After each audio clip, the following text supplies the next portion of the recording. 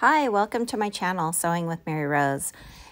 This video is going to show you how I attached my Janome hemming guide to my cover stitch machine.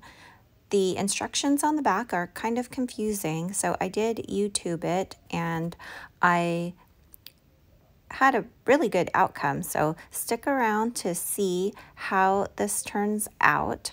And if you like videos like this, please subscribe and hit the notification bell.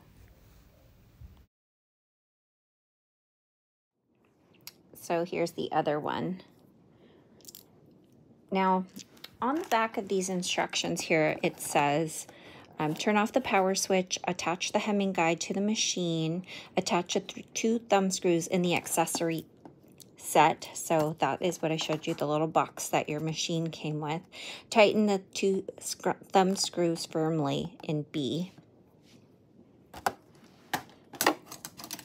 So here's that. Here are these two little thumb screws. So we're going to attach these here and here.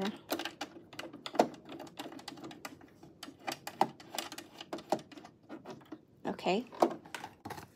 Next, it says, trim the edge of the fabric straight, fold the fabric, and finger press the fold. Draw a line with tailor's chalk on the right side of the fabric in line with the edge of the fabric shown. Iron at the fold. So I'm going to do that part right now. So let, let me show you what this comes with. This comes with these two screws. And in addition to these two twisting thumb screws, you will need to get a couple of additional ones out of your box that it came with. So let me pull those out. Here's one. So with this, I wanted to make it a little easier to do hems and I do want to start sewing more knits and I'm going to attempt to sew athletic wear in the future. So I have some um, pretty ambitious plans for the upcoming year. I'm going to cut off three inches off of this remnant of fabric that I have. So here is my piece of fabric. I'm going to fold it over, uh, mark it afterwards. I'm going to give this a one inch seam all the way across and iron it down.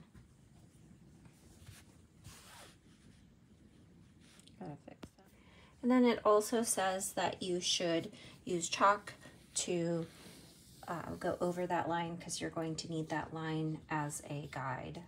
So I'm going to mark this one inch and then I'm also um, ironing it. So my fabric is pressed now and I'm going to bring it over here and get this started. So this is what I want to hem. So I'm going to set up my material now. I have this thumb screw loosened so I can move this over. What I want this edge to do is to go just slightly beyond my left needle. So I'm going to put this under here and I'm going to see where that ends up on the top like that. This is one inch away from the end. Right here, I'm going to line this up to where I want it to be. I want it to be right here, just slightly past my left needle. Now, when I get it to where I want it to be, I'm going to tighten this screw. And now I'm just going to see if that's exactly where I want it to be.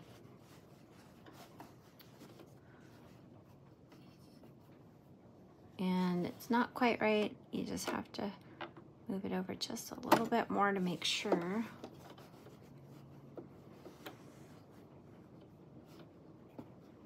Okay, that's still a little more than I want it to be, so I'm going to put it right there.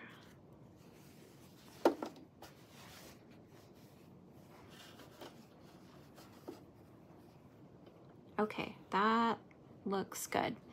So now what you is you're going to fold it over like this. And you're going to push this underneath. And then you also need to adjust this to make sure that it's where it needs to be.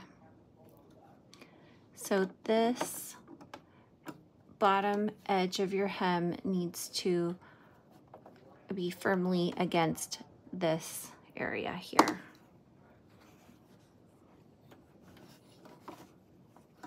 So that it feeds in evenly. And that's where your ironing comes in handy so that you know it's lined up properly.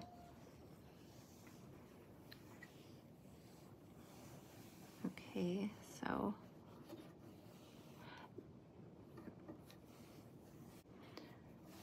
and I'm going to get started. It's really easy. It keeps everything lined up and straight. I have my stitch length at a one right now. I'm going to change that to a two. And this is my first time using this. And it's looking really good. I'm really happy with it. Okay, so I'm gonna just check and peek in here and make sure that it's right up against this little fabric guide, feeding it in nice and straight. At the same time, this folded hem edge is nice and straight and I'm going to just keep on going.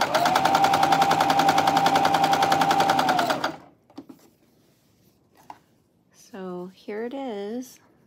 That's when I had it at a one. Right now it's at a two. And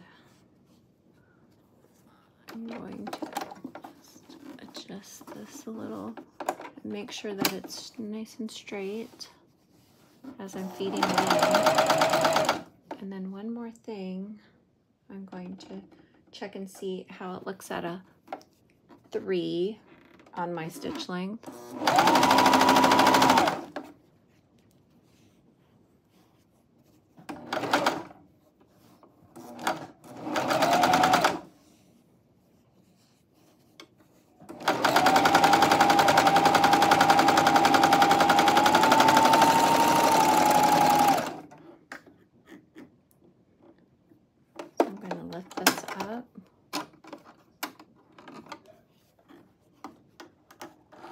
going to pull these towards me.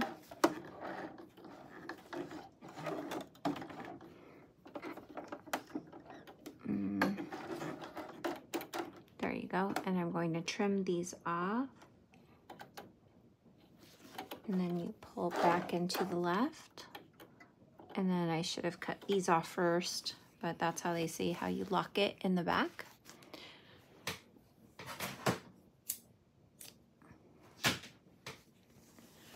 Going to just iron that. So here's what it looks like at the end. Looks good. I'm happy with that. And it's doing everything that I thought it would. So I just wanted to thank you for watching. And if you'd like to watch any more videos like this, please hit the like and subscribe button and the notification bell. And I'll see you next time. Bye.